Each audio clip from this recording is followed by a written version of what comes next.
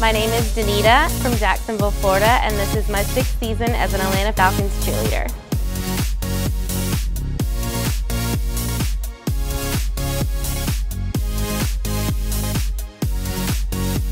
I really take pride in my position as an NFL cheerleader. I think the Falcons have done an amazing job with our organization to allow someone like me who's a businesswoman I have tons to do to want to come back. We do a lot in the community and that's where my heart really, really is. I live for making a difference and making sure that I can use my role as a vehicle to be sure to touch someone else's life. Um, my favorite part about game day is the first time I hit the field. I still get the butterflies favorite part of game day definitely is running out of the tunnel.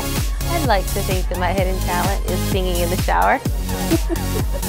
Honestly, when the Falcons are on the road, my favorite place is actually my couch. Um, we're busy nonstop with practice, rehearsals, and promos, so any opportunity I can get to um, enjoy the game and just sit in my fuzzy socks with water and popcorn.